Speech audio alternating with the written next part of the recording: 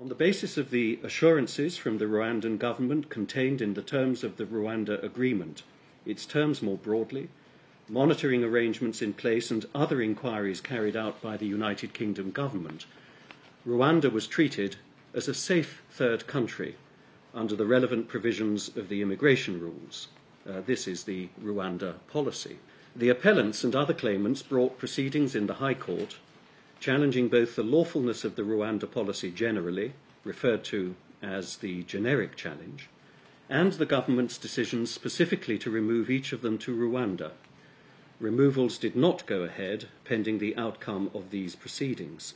The result is that the High Court's decision that Rwanda was a safe third country is reversed, and that unless and until the deficiencies in its asylum processes are corrected, removal of asylum seekers to Rwanda will be unlawful.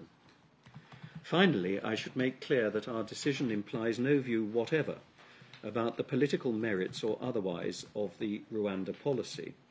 Those are entirely a matter for the government, on which the court has nothing to say.